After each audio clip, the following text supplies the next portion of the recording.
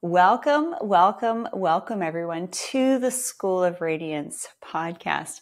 I'm your host, a humble human on a mission here to help you both look and feel your best. Now, in today's episode, we have a very special guest here. We have my dear uncle, Robert Rogers, joining us today, and he's recently written a book and it's called Shabazz Rising.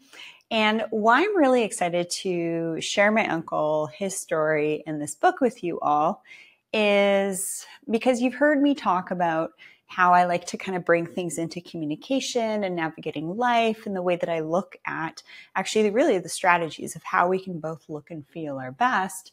And there's some intelligence that goes into that. There's some situational awareness to keep you safe and environmental toxins.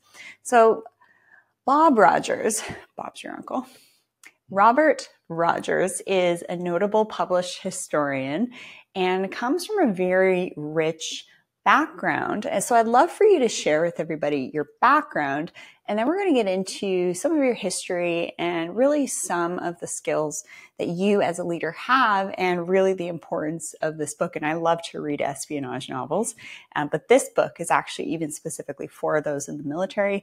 But I like espionage novels because it teaches me about tradecraft. So I'd love to also focus on situational awareness and tradecraft so that we can go through life with a greater sense of security and ease and be aware of different threats and how to resolve conflict and strategy. I mean, you basically wrote the just to, to preface my dear uncle here, the war strategy for Canada during the Cold War. And so he's a he's an expert in the world of intelligence and world events and things like that. So give everybody a bit of an introduction of who you are, what you're all about, what some of your values are, and why this book is such an important piece in your life's purpose.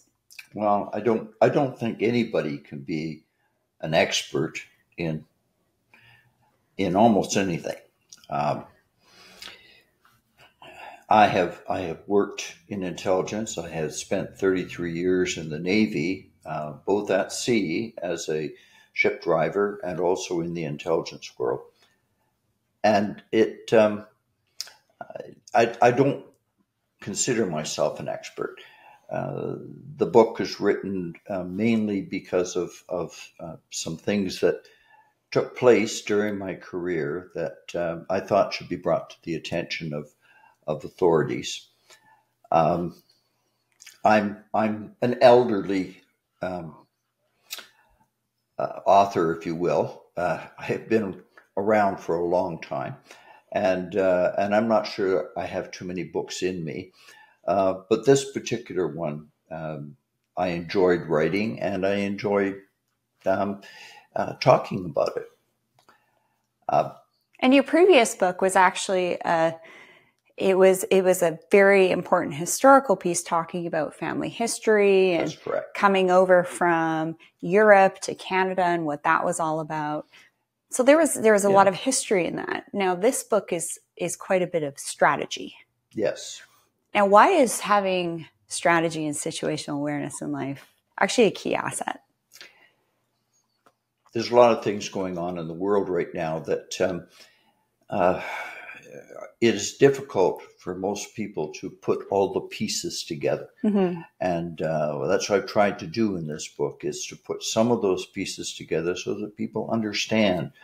Um, the first book I wrote uh, was a historic novel, and it described my family uh, arriving in North America uh, about 1728. And um, how the French and Indian War and subsequently the American Revolution impacted the family and how they ended up in Canada as part of the United Empire Loyalist movement. Um, this one is totally different. It's, it's as if I decided, uh, got up one morning and decided that I was going to change what I was doing because I could have continued on with historical books and, and so on, but uh, but I did. I decided to to write something totally different.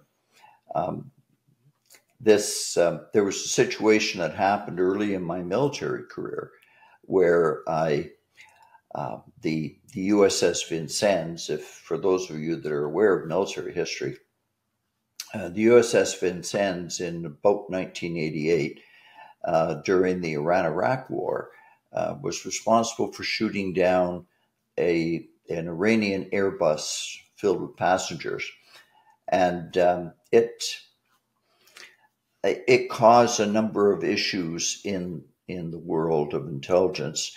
Um, but other than those that were involved in the Middle East conflict at the time, the rest of us in North America sort of said, "Oh, well, that's too bad. We're we're sorry for the passengers and so on." Much like the more recent one when the uh, when the Iranians shot down a uh, another airline that was that had Canadian passengers on board. The, the incident happens and then it fades from memory and it goes away. What I tried to do in this book is say, okay, there was an incident and now these are the follow on events that happened from that incident. Um, in the Vincennes book, uh, Vincennes case as an example, it, um, it took place in 88, long before the storyline of this book starts. But um, on board that aircraft were the parents of the heroine or villain, as you, depending on on which what you want to look at her um, for uh, what uh, what happened to her. Um, her parents were on that flight, and so I used that as an example, and uh, and then developed the story from there. Um, when the incident happened, I was a very junior intelligence officer in MARPAC headquarters in Esquimalt, and um, I saw the the incident as um, looking at it from a retaliatory perspective, whether the Iranian forces were were going to uh, to retaliate against um, the U.S. particularly and and the allies for that point because uh, Canada was part of the Allied forces with them. Um, whether that was uh, going to impact the way we were collecting intelligence on the West Coast. So you kind of you saw things maybe a little bit differently than some of your colleagues. Yes, they they saw it as an isolated incident that took place in Iran and wouldn't have any complications. So what was it? You, like your spidey senses, or kind of seeing the writings on the wall? I, I, I guess it was just um, just an analysis and and looking at the the potential for terrorist activity that took place outside of uh, of the areas where terrorist activities were taking place at that point in time. What was it like to see things differently than your peers, which you ended up being correct and potentially some things could have been avoided? What was that like?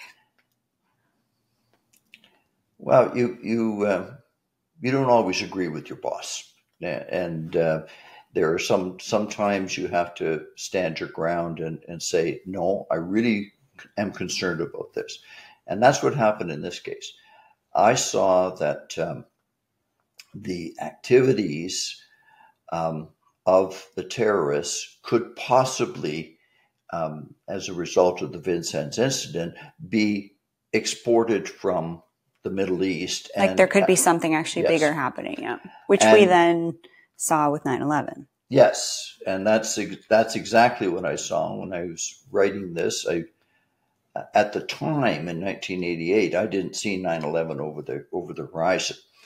But i saw the potential for terrorism to be exported from the middle east and i remember back in 1988 we were we were dealing with uh, with terrorism as as being somebody with a car bomb or somebody um, with a with an explosive vest on them that would blow up. And terrorism was not exported; it was a local activity. Uh, when after 9/11, all of a sudden terrorism became a worldwide threat, and so so for people who who think about terrorism from that perspective. Um, the world changed with 9-11 now it, it changed because terrorism came home to america but it also changed because it was an exporting of terrorism outside of, of the things now there was the olympics um, where where terrorists attacked the uh, the uh, Israeli athletes. That took place before '88, but um, very seldom did that did that happen. And we started to hear about it more and more because then if all of a sudden of it's on the media. Yes. It's on the news. Exported but, it. But it's so hard, to, like for you with your perspective, you see the intelligence and it's like what we see on the news is way after the fact, mm-hmm. which is why your book is so interesting because you're talking about the sequence of events and then you have a prediction at the end of it. Well, I, I do, but uh, my prediction may not be what other people will, will see. Um, certainly the, um, the, the whole concept of international trade uh, doesn't stop because there's a war someplace. Um, international trade is continuing on in spite of what's going on in the Middle East right now. We have ships that are running through the Suez Canal and through Panama and and and so on. That, and some uh, are exporting goods yeah. in a mutually beneficial way. But you know, then there's new technology that's come out to track ships, just like how we are tracked in a way too. I, I would love to hear from you. What can we do when we're hearing of all these calamities and, you know, war is on the horizon, this, that, you know, I don't even want to say those words, mm-hmm. but what can we do as people to stay in peace and continue to rely on faith to stay positive and focus well, on really yeah. the life that's with ourselves and our families? faith is very important uh, these days in particular because uh, without without faith, um, everything is negative. Uh, you have to have some faith in order to to bring um, some kind of sense of, of realism to what's going on, knowing that you have another place to go rather than the world ending tomorrow. Or to make an impact. Or to make an impact. And show love and be of service and enjoy the, the bounty of living and beauty. Uh, sometimes it's pretty hard to be loving and caring and and and love your enemy when your enemy is carrying machetes and and uh, and uh, bomb vests and so on. Well, but, you don't have to show kindness to people who are a threat. I mean, that's not what I'm saying, no, but I it's it's yeah. the people in our direct lives. Yeah. yeah. Yeah. What would you say has been a beneficial First of all, before I ask this next question, uh, I was very honored that you invited me to do the audible for your book. Um, before my next question, why do you want my voice to be the voice of the book?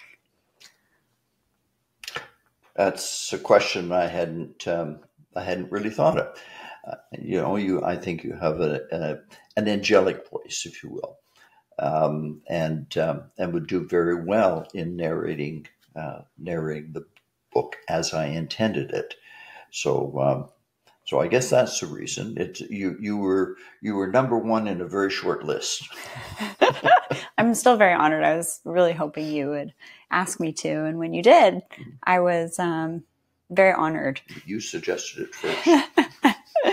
and I'm I'm curious. There's there's some names in our family and references in our family that are loosely uh, utilized in the book as, as forms of inspiration. But for for everyone tuning in here, I'm curious what aspects of me made it into the book to kind of like inspire You're going to have to interpret that for yourself. Well, I've, I've picked up on what those are, uh, but uh, for those of you tuning into the show, there are little little sprinkles of inspiration from various members of our family, various members of the family, which I, I which I think to, is fun.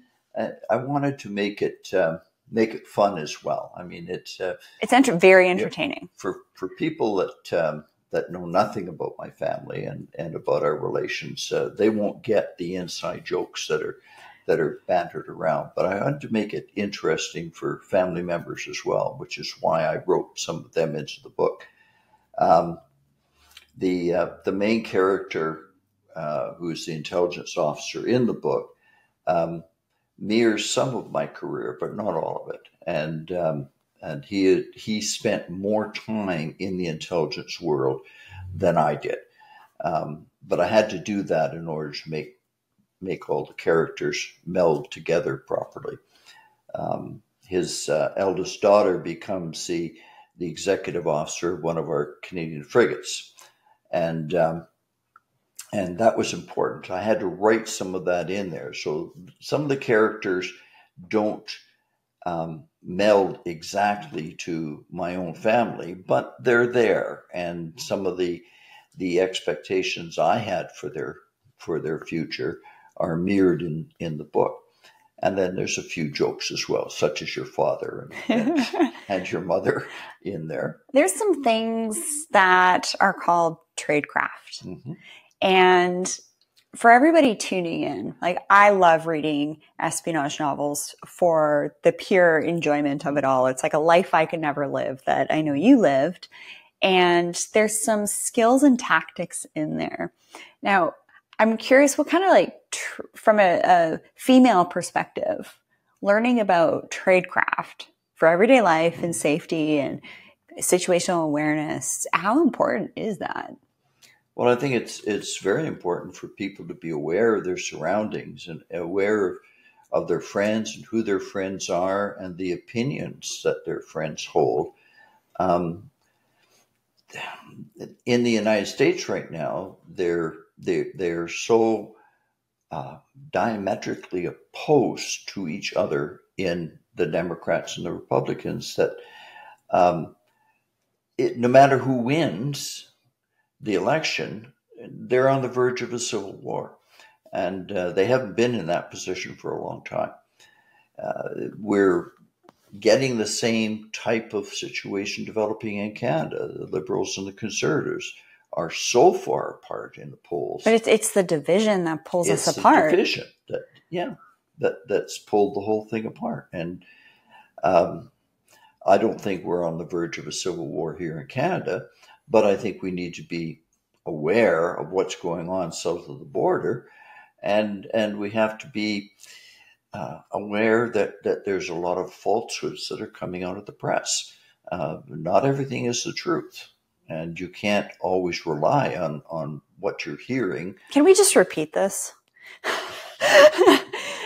not everything. You and I have argued about this point before. Yeah, well, not argue, but you know, have an open yeah. discussion. And I mean, that's really important. And even from a health perspective, it's like, what's true? What's not true? You have to use your own discernment. But when it comes to novel times like these mm-hmm. days, you know, there's always this new biohacking health gadget. There's always this new diet. There's always this new event in the news when all these novel things start happening, and especially in the couple of years, it's like a new thing after a new thing after a new thing, a new threat, new conflict, one after another. Like, how much can our consciousness, our hearts, and our minds handle? Like, how do we balance having an awareness of our surroundings and world events and still maintaining our grounded personal and professional lives? Uh, it's an interesting question. Um, I have not uh, thought a great deal of it from that perspective because, of course, my my training has um, has required me to be aware all the time. You know, I, I go into a restaurant, I find a I find a booth at the back where I can watch the door. I mean, th- these are just things that I automatically do. So you're sitting with your back against the wall. Yeah. Your wo- lovely wife is facing you so that you have an awareness of yeah. the room and particularly if the TV's over there, so I can watch the TV. but but no, because uh, you know you can take that to extreme and you can get too serious about it, and and um, you have to you have to find a way to balance all of that. And as a woman, honestly, there's so many differences between men and women, the masculine and feminine dynamic, the male being the protector, the provider, the woman you know, really supporting the health and the peace of the home. Yes, but she also wants to take over. Well, depending on the woman, right? it, it's not a takeover because then that's uh, the issue with that, which we're seeing in relationships mm-hmm. these days, is the corporate woman mm-hmm. and wearing the pants because the man isn't. So it's it's really getting back to those basics of mm-hmm. teamwork and support and looking at how we can support one another. So I'm a fan of, you know, when I'm around people and they have that situational awareness, they could be violent if they needed to. Mm-hmm. I'm able to more relax into my feminine mm-hmm. and really enjoy myself knowing I don't have to take care of that. Mm-hmm. So that's something that's different and noticed more in different cultures because I've done a ton of traveling and seen the differences between men and women in different cultures. But my question was, how do we balance? Like, say, for example, you were to come up with a time frame in a day, like how much would be, do you think, healthy and allow us to get a grasp of what's going on? Like, how much time during a day watching the news or reading this or reading that is healthy? Well, I spend probably a, a quarter of my my day reading um, uh, newscasts and and uh, and bullets and so on that I that I get. I'm no longer in intelligence, and so I miss that. I miss the the fact of, of knowing what's really going on rather than listening to to the uh, the press all the time. As we were coming down here to Victoria, we we lost most of our satellite radio and we started listening to Fox News. Boy, am I not going to do that anymore. it's like listening to the CBC with, with no controls on. But um, no, no. What's the problem here? What's the problem with those those outlets? Like, where are they getting their funding from? They're they're, they're well, their funding is is uh, for large uh, portion is um, is actually from the people that they're supporting, and therefore their their attitudes are very one sided. You see that with the CBC. Um, all the money is coming from the government, therefore the government's right, and nobody nobody can can contradict them. And here, I thought it was a conspiracy theorist. well, that's later. no, it's um, uh, that's that's my take on that, and of course, Fox News um, has a history of that, of always being on the side of the of the Democrats. And in the 90s, they had to relay what side they were a part of. But yeah. then after, you know, we saw Oprah and Maury Povich and all these reality shows, mm-hmm. they no longer had to disclose that, which I think was a bit of a disservice for people to then form balanced decisions and views on what's going on. Um, so I'm sure we could have a whole other topic mm-hmm. and and session on like where to get great sources from. I would say one of my best reads for looking at where I get information from, especially from the health side of things, to be mm-hmm. my most radiant version is actually eye contact. Mm-hmm. If people have an inability to have very clear, concise, coherent eye contact, or their eyes are darting everywhere, and they have this light they have this sparkle, they have radiance. Mm-hmm. Radiance is in accordance with Ayurveda, the 10th body. We have our body, mind, spirit, energy, first four, and then the 10th body is the electromagnetic projection of what's going into the world. And also seeing that there's a balance. There's a balanced perspective, not just one sided, because. I don't mm-hmm. think that's going to be grounded. Like for you in intelligence, you have to see the whole picture and then put things into place, consider what are the driving forces here? What's the potential outcomes? How can we prepare ourselves for re- potentially resolving a conflict? What can be done? I'm really curious with your background in intelligence, the degree, the amount of emphasis on communication and asking the right questions. I know you and I both have read um, Chris Voss's work mm-hmm. on Never Split the Difference. I really like that book. And I've done some exchanges with you just mm-hmm. kind of for fun um, at the family dinner table. How important is learning how to communicate and ask the right questions and read people in everyday life? I don't know how to answer that question. It um, again, most of, of what I do um, has been the result of my training. So a lot of things are automatic. Totally. And and I don't. Um, I haven't actually sat down and thought about, gee. Well, what, what was it like? Say, for example, your daughter when she started dating. How did you size up the guys? Well, I didn't uh, have a lot to, to do with that. I mean, it was her choice.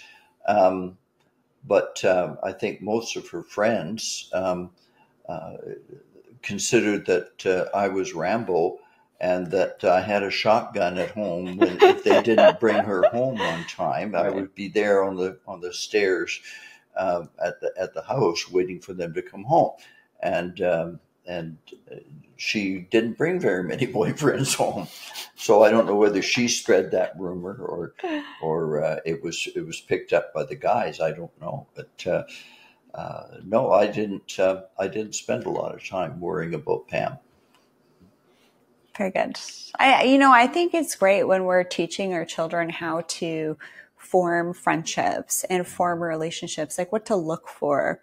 And also when we're in relationships, how to convey what our needs are with clear communication and having the empathy to see someone else's perspective, which you have to do in the intelligence world in, in order to predict what their next move might be, mm-hmm. right? Every great chess player, every master, they're thinking like 10, 12 moves ahead. Mm-hmm. And more amateur chess players are like one to three kind of thing.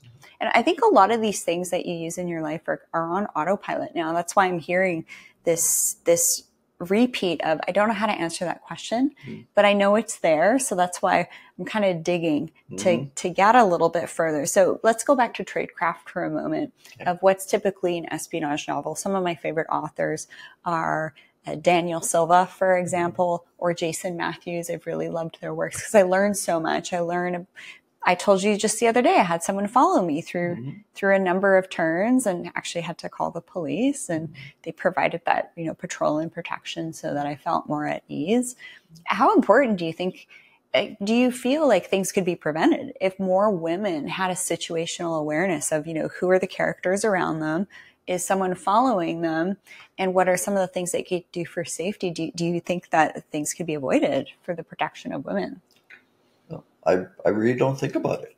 You know, and I I should be thinking about it because I'm an older guy now.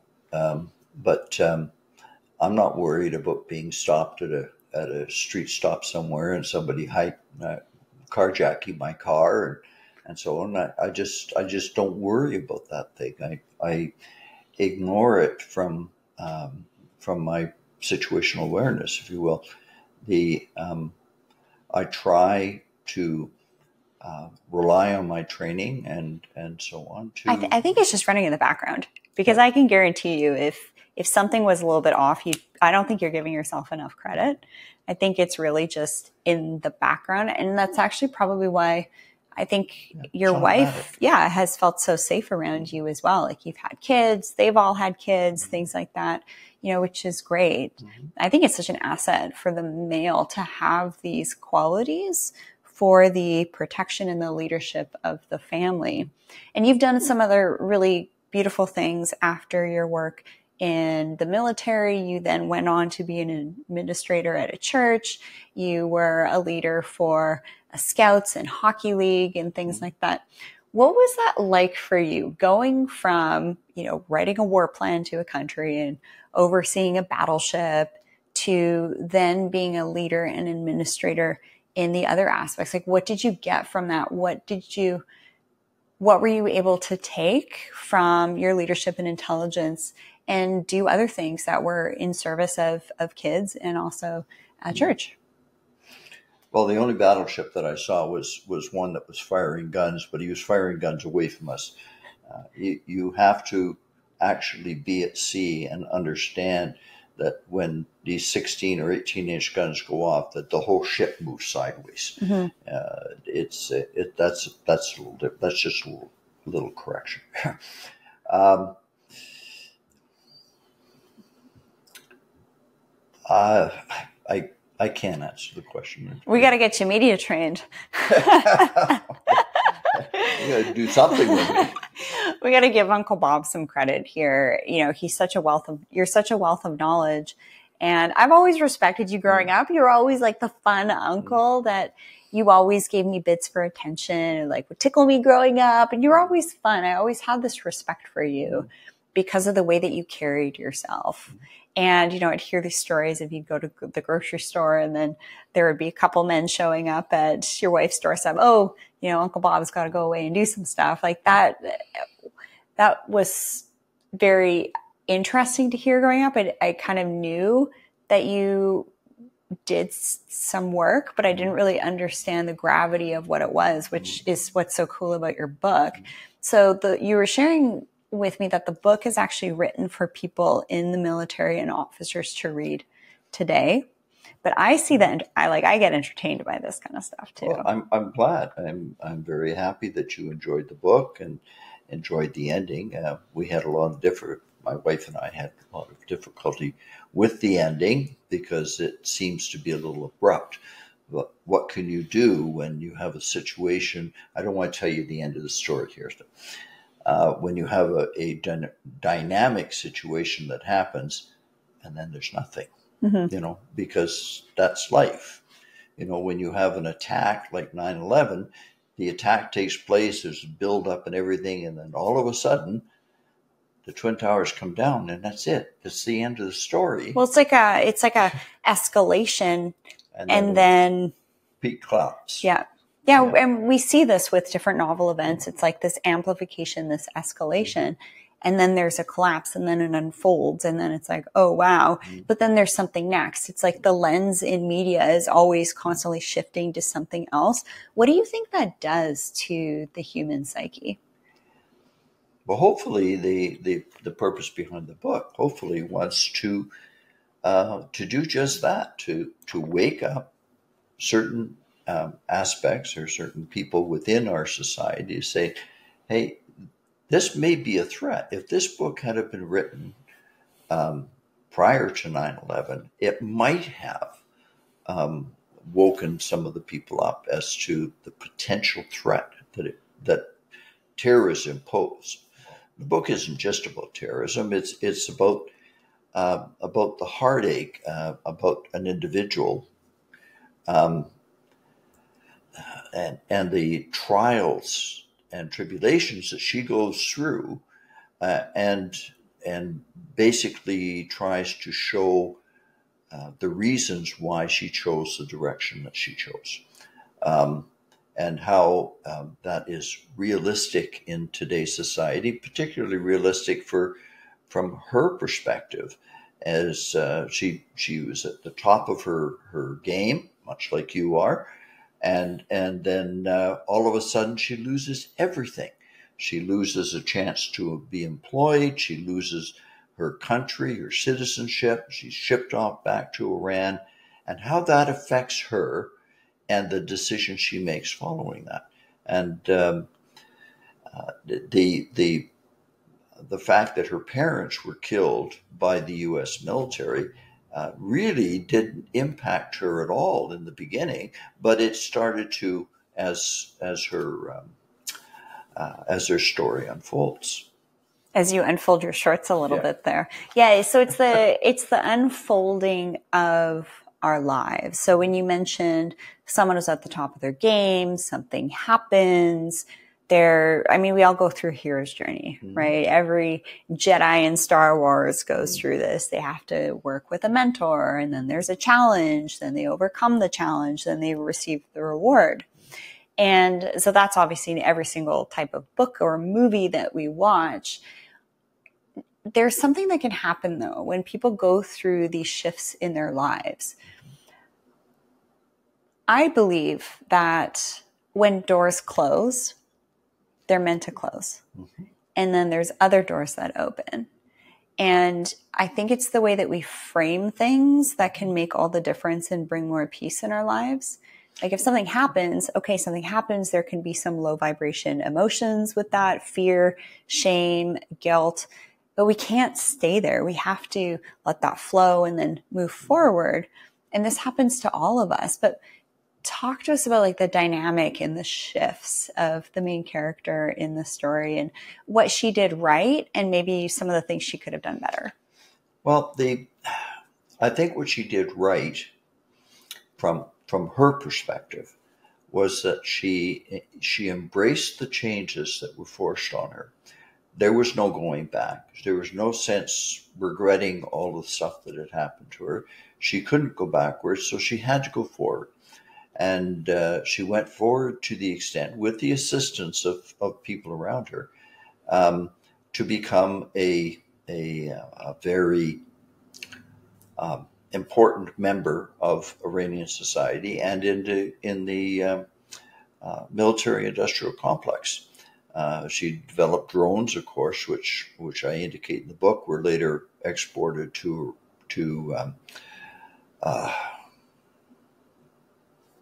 to other war areas, and uh, and it turns out that they were the Iranians are, were many many years ahead of us in the development of drones for military purposes.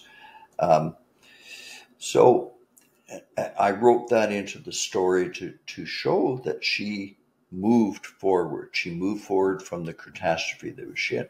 And then what happened? She had another catastrophe. I mean, I couldn't leave it there. I mean, what kind of a story would it be if she, she goes to Iran, she becomes a high member of, of the Iranian society, uh, lives a happy life, and then and then dies? I mean, what kind of story would that be? It's like we don't we we can't expect to have peace all day, every day in our lives. There's going to be shifts, and I really believe that in real life, we're never going to be given too many challenges than we can handle. Especially if we're praying for something. Yes. God's not going to give us on a silver platter, okay, here's exactly what you asked for. Mm-hmm. No, you're going to be tested first. You're going to have things taken away to make room for the other things and to really make sure that you deserve it and that you can handle and then you can hold all of these things that's in store for you. So the the faith component's imp- really important. And I know that that's important in what I do here on the show. Uh, faith is a key part of, of having peace and getting clarity and quietening the mind and, and prayer is, is really important. That's, that's, very true for you and I.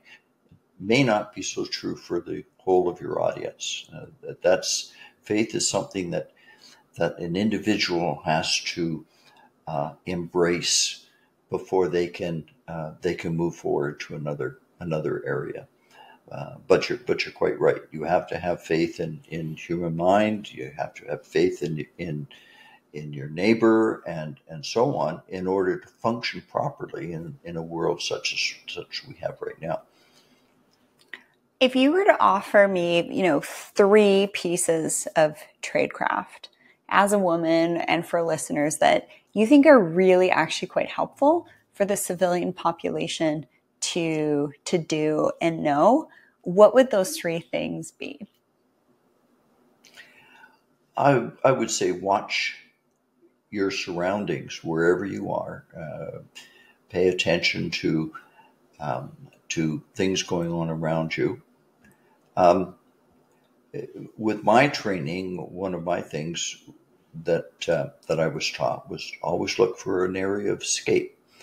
Um, always find something in in your surroundings that will allow you to escape from a developing situation that you're concerned about. Uh, so there's two. Um, I can't think of another one off the top of my head, but uh, you know, it, it's you have to avoid the the fight or flight fantasy because uh, that uh, invokes uh, emotions that you may not want. You know, if, particularly if somebody t- troubles you and uh, you immediately get your guard up and and and you're prepared to to fight. Um, uh, that may not be the appropriate answer in the given circumstances. So Conflict resolution could be, and the the whole thing about the intelligence world is there's people like you and others that are really working diligently to avoid conflict? Well, um, I think you've misidentified what intelligence is. Uh, intelligence is the art of of uh, interpreting or shift, shifting the data in order to provide the grown-ups or the elephants, as we used to call them, the, the people who run things, um, the best possible information as to what's going on mm-hmm. right now, not providing the solutions. The solutions come from them. You may suggest a solution or suggest a, a course of action, but it's really the grown ups that who, who make that decision. And intelligence is just the, the, the whole function of gathering information together, trying to make sense of it, and then providing those facts to to the people who do make the mm-hmm. decisions. Mm-hmm. Exactly, and, I, and I'm aware of the differentiation yeah. that there's they gathering information and then it's enacted. But what I mean by that is that's such an important part of our of our society and how our our countries run is that there's this shadow world of things and calamities that have been avoided that regular people will never hear about. That's right. And I, there was actually something, I don't know if you can talk about certain things, but even here locally, that um, were avoided. Uh, and I'm very grateful for that. sometimes, sometimes people are, are better off not knowing what's exactly. going on. Yeah. But that's why I have so much respect for people that have done what you've done and the work that you've done. But I really see in you this component of the knowledge that you've acquired in your very important work that you've received awards from uh, multiple times. Share what some of those awards have been. Well, most of the most of the awards, um, other than one, I uh, most of my other awards have been uh, just a, a, reward for service. You know, the acknowledging people that uh, that have served in an area uh, for a period of time and they get a mug or, or something. Most of the awards are that. Um, but uh, I was surprised to receive the Lieutenant Governor's Award in, in the, from the province of Alberta for my time in working with in volunteer organizations because I didn't I didn't realize people were paying attention to that. Uh, I was doing it out of the goodness of my heart, um, because I saw a need, like with Scouts Canada. You, you want to impart the knowledge that you had uh, as a scouter to the younger generation so that they could enjoy mm-hmm. the, the, outdoors and so on. Uh, and I was doing it just for that purpose. Um, so it was the parents that put your name forward because they saw the impact you had on their well, kids. Well, no, I don't know where that uh, where the suggestion came from. Well, um, I have a feeling that's probably where it came from. Well, no, and I haven't been with Scouts Canada for many years, but mm-hmm. the Lieutenant Governor's Award came um, just last year, the year before. It was a very recent uh, award for my volunteer services in the province of Alberta. And as I said, I didn't even know people were paying attention to what I was doing. So, yes, you're very, you're I'm very, very appreciative of it. Of course, yeah, it's important to have that recognition. Um, I know with my personality type, I really I really thrive on that when I get that uh, different professional accolades and awards and recognition. And I think it's it's healthy to receive those awards and say, yeah, I did do a good job and I was happy to do so. And it was of service and I did it with integrity and it was recognized. So I think that's great. Uh, when it comes to your book for so it's very much written for people to get an understanding of current events um, but it's also very entertaining uh, the way that you've written it there are some books that i'll just skim and then there's some other books that i'll literally hang off every word mm-hmm. and this book would make a fantastic movie it would be a great movie absolutely when would. i was writing it i said you know if i were, were going to write a movie uh, write a book that would be turned into a movie, how would you do it? And when I started off, I said, well, I want to cover a very wide time period. So why don't we break the book into three major sections and then it could be a mini series? At least mm-hmm. that was my thought. And, uh, and that's what I did. The book is almost exactly divided into three parts, uh, where we have Esther, um, who who was did, there a significance to choosing that name, Esther? Um, I, I did it mainly because I could change um, her from from an English language um, version of her name to an Iranian version of her name rather easily. So it goes Esther to Estar. Mm-hmm. It, it uh, that was the reason why that name was chosen. Um, but um, uh, the the whole first third of the book covers 2013, and it it describes um, her situation where she finds out who she really is. She gets expelled from the United States and all the terrible things that happen to her, and she ends up in Iran. That all takes place in 2013, and then the second section of the book uh, is is sort of the middle part. It explains how she uh, pulled herself up and and uh, gathered and. and Is this was this the inspiration for a phoenix? well, it's not a phoenix; it's a Shahbaz. Shahbaz, yes. But when typically people see this, unless they know the meaning of Yeah. Shahbaz, which you explain in the book, they would see this as a, a phoenix rising. Phoenix. and that's basically what happens to Esther, and and and by extension, the the the whole state of Iran. They start off um, uh, absolutely crushed, and then they rise to the situation. Now, in in Iran's case, that's not something we want, but it is something that that happens to Esther, where she rises up. And then the third uh, portion of the book, the first two portions of the book um, are largely based on fact, um, in the sense that they take place in past, and um, other than the characters that I have created and, and put into the book, everything else is historically accurate. The the invasion of of uh, or the difficulties in Turkey, the the difficulties with with some of the ethnic groups and so on that um, uh, that are involved. Those are all real. They're being created at the end of the First World War, and the whole division of the Middle East was all done um, after the First World War, and is the cause of ethnic violence right to this present day. Um, they really did not think that situation through when they were dismantling the Ottoman Empire. Now, having said that, the third section of the book takes place in 2025, and and therefore everything in the future, that last section of the book, is all in the future, and um, it it could be a precursor to another 9/11 type of situation, Mhm. and that's Because this tension is really building right now, which is why the you know you really feel an urgency to get this book into as many hands as possible. Well, I, I would like to. Mm-hmm. Um, it it the uh, the the sales have been down a little bit, but that's mainly because of of advertising and not being able to get the book out to the public. Um, I think it's a great book. Most of the reviews I have had, have I think it's a excellent. fantastic book, And and you- we'll have the um, me a review how to how to get the book in the description of this episode as well, everybody. And then stay tuned for the Audible. Excited for that.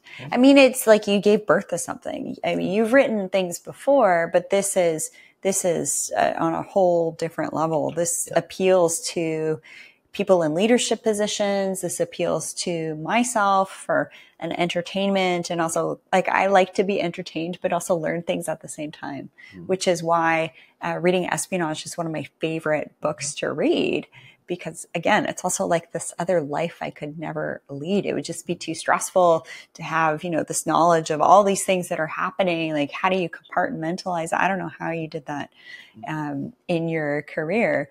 I'm curious if when you were um, in intelligence, which I'm just this pretty, pretty brazen question. Which country, because you presented at the UN, which country presented as having themselves together in the intelligence world? Like very well run. And what do you think that was related to? Well, I think within the intelligence world, the United States is probably the the best put together uh, nation, but not without errors. I mean, they made errors in the Persian Gulf, they made errors uh, other places, but um, but as far as the intelligence community is concerned, they're probably the best put together, followed by the Brits.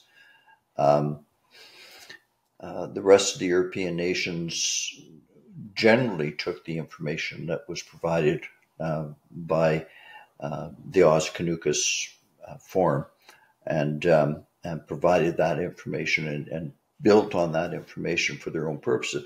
That didn't mean that they weren't important because they provided information to us that we didn't see. Mm-hmm. That's Uh, why collaboration and yes. allies are so important. Mhm. Resolving conflict, having mutually beneficial agreements. Like we need this in our lives, Mm-hmm. even in our personal and professional relationships. That's why over time, I'll kind of, you, you- you're going to think about these questions after this interview. And I'm sure we'll do a follow up because what you have and the knowledge that you have that's just on autopilot, like you don't even think about this stuff, but it's so valuable for people like me to give a balanced perspective and how to analyze the information that's coming at us from various angles and how to discern what is factual versus what is not factual, yeah. which I think a lot of people probably grapple with these days. Mm-hmm. You know, which diet's the best diet, which skincare is the best products to use. so, the, one of the whole premises of the show is to teach people how to be a more conscious consumer. Right. And I think that that also relates to our minds with our, our mental capacity and how we carry ourselves to not get overwhelmed and distracted by the bright, shiny objects, whether that be new products, new innovations, or what's on the news. Mm-hmm. What tips can you give people to have a more balanced perspective, especially during these like very novel, amplified times? Um, again, we, we go back to the question of faith.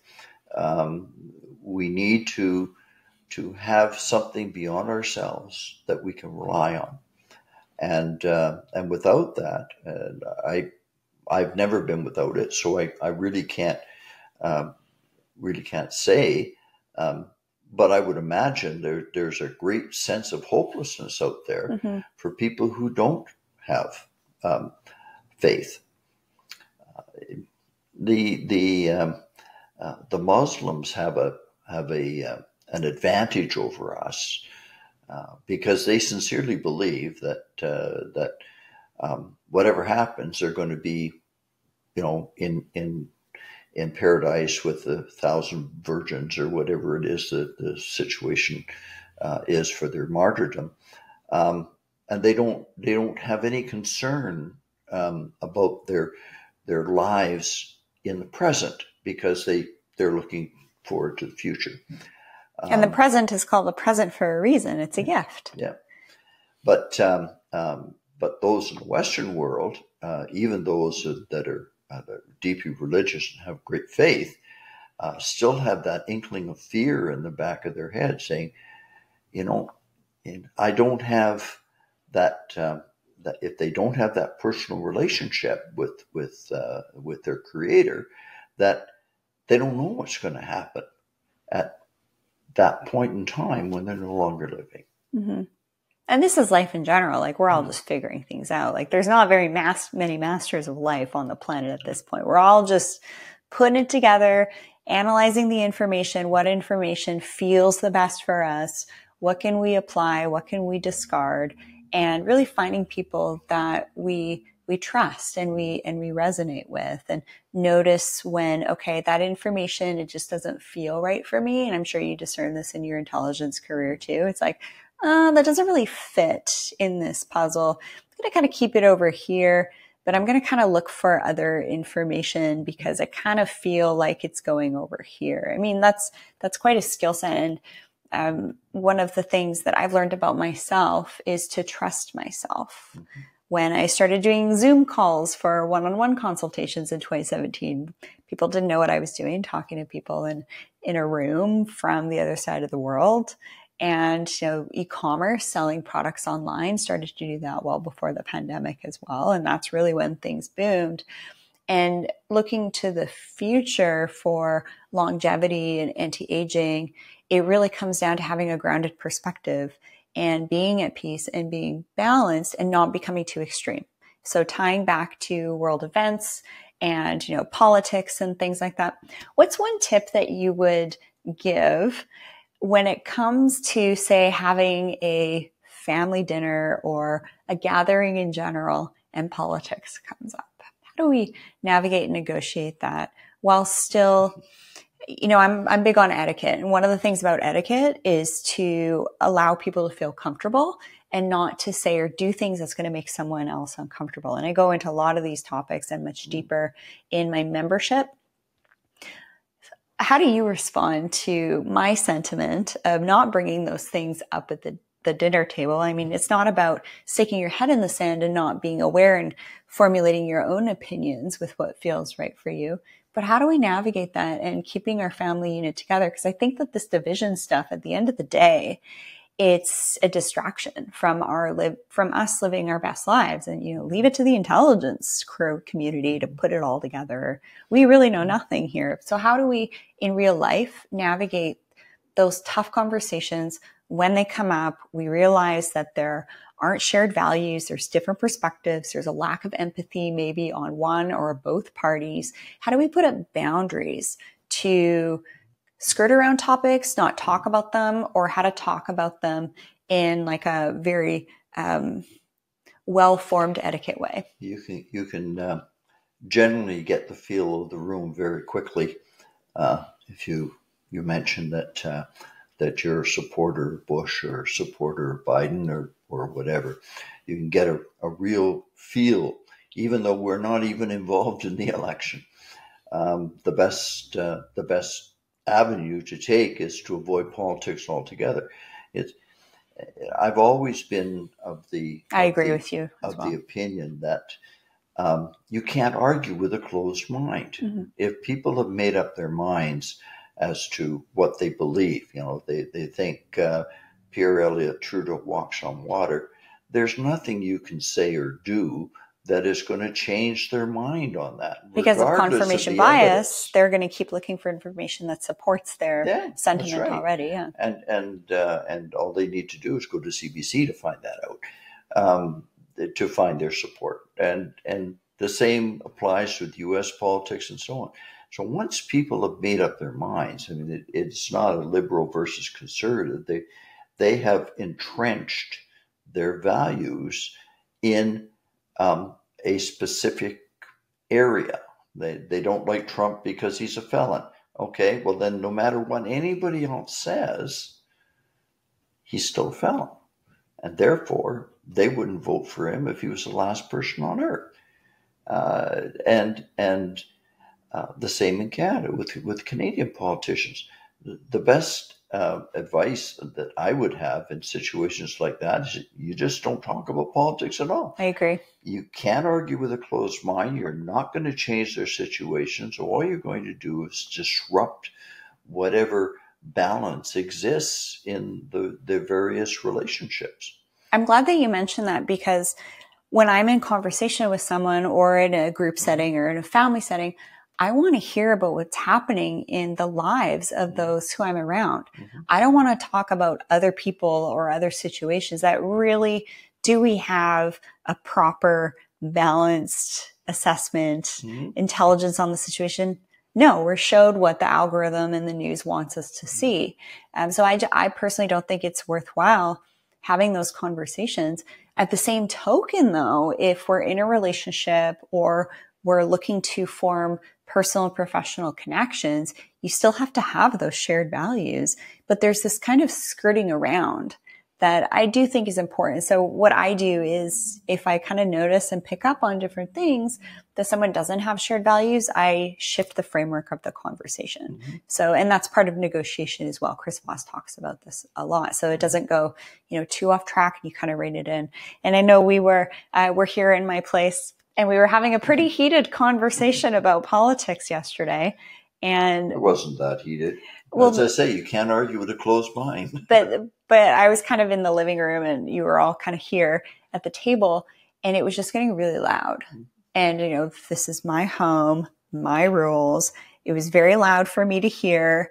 I tried to say something about four times and I, I don't raise my voice. That's not my style. And I couldn't speak. It's like, this, I don't like where this is going. I can sense that there's some not shared values from the Mhm. political perspective. This isn't a constructive conversation. How much information do we really have? Are we really right? And so I actually rang my Tibetan bowl. Mhm. But when I, I rang, remember. when I rang that, it actually, I meant to just kind of tap it, but it actually rang really loud. And then after that, my sister came up and, and said to me, you know, we do have to have these conversations with family. And then my mom said, I'm really happy you did that. but as soon as I did that, it was just like this shift with energy. I'm just trying to give people strategies of how to shift that dynamic. So obviously you're not going to have a Tibetan bowl um, at every situation when this happens, but how can you graciously shift a conversation? Because otherwise there's going to be people that don't want to be part of it. They're just going to be quiet and they're not going to enjoy themselves. So we ha- almost have this like role, I guess, who's hosting the event to notice the dynamics. And for me, it was in my home. So that's the choice that I had. You know, I'm not saying it's a good choice or a bad choice, but it solved the problem mm-hmm. and got us to shift the energy and to talk about something else. Uh, what other kind of tips, like what, what have you thought about with me sharing that? Um, other than reinforcing the, the fact that um, uh, you have to change the topic. You know, once once you realize with that you're dealing with people who who have already made their decision, um, it's time to talk about something else. Mm-hmm. You know, and shift it to to cars and uh, your most recent accident, you know, those kinds of things. it's interesting you went there because you were actually just in a car crash. Yes. So that makes sense. I'm glad that you are here and you made it, you made it well, I'm safely. a little upset about the guy that came down the, the on ramp and came right over into my lane, hit me. Oh. But, uh, but yeah, no, the, the vehicle is repairable and, and there were nobody injured. So, Mm-hmm. yeah, we move on to the next day. Exactly. We there, where there's a conflict, there's a situation exactly you, you use a perfect word we flow into the next thing we don't mm-hmm. perseverate we you know obviously have to process things mentally mm-hmm. and being in two car crashes myself too mm-hmm. um, and having the physical stuff with that it's it's you kind of get reminded of it but you just have to stay positive and read books like Shahbaz rising yes, that you are going to learn something from um, get an insight into key things that are happening at this time and learn some tradecraft and some things that from I think just general living perspective are just kind of interesting to know that people live these lives and they do these things. And uh, yeah, I'm very appreciative for you taking the time to be here. Robert Rogers, my Uncle Bob, do you have any closing words for just, us? Just that uh, people are looking for the book. Um, uh, the book is available on Amazon, both Canada and the US. Um, it's it's available in an e uh, version um, through Google Google Books and Apple Books and uh, and so on. Um, if they're looking for my website, my website is shahbazrising.ca. And that's spelled S H A H B A Z rising.ca. And that'll be in the show notes as well. Yeah.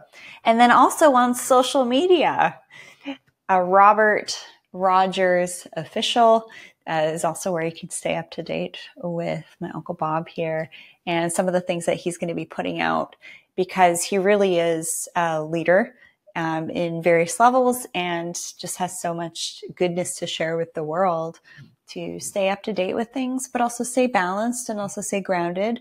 But what some of the strategies are that we can utilize to get the most out of this life and and enjoy our families and live a life of purpose, mm-hmm. which is what you've done with writing this book. You're living your purpose. Well, thank you, Rachel. My pleasure. I, I didn't think we were going to be here at this point in time when I was changing your diapers. and giving me lots of tickles. Yeah, you always have given me so much love, and I have just very happy memories of us and our family time together. And I'm just really proud of you for number one, writing a book in my favorite genre as mm-hmm. well. And, um, you know, I just really respect you. And the older I've gotten, the more mature I've gotten, the more I really appreciate just the depth and the value of what you've done to serve our country and to keep us safe and to hopefully avoid different things behind the scenes. I have a lot of re- uh, respect for our military personnel and what they give up in their lives in order to be of service and, and protect us as well. So thank you. Well, thank you. Thank you everyone for joining us here on the School of Radiance podcast. This was a very fun and exciting interview for me to do and share just an incredible book, kind of get it behind the scenes of some of the books that I like to read uh, from an entertainment and also a learning perspective and learn more over at the schoolofradiance.com. And in the membership, yes, I do include a couple of different tactics that I think are really important for our everyday lives to show up and be our best versions and make intelligent decisions, communicate effectively, and resolve conflicts while doing it all with grace and ease and moving through conflicts and finding conflict resolution in, a, in an easier way with a little bit more flow so that you don't age faster, so that your adrenals don't get overloaded and that your skin doesn't break out and all your hair doesn't fall out and you put on weight and you have better relationships. So this stuff is all tied into, in my opinion, and it's really worked for me. So if it's helped me, this kind of information, I'm sure it's going to help you too. And really, this is actually the information that I really look for. Uh, so I'm really happy to have been able to share this. So thank you very much. Thank you.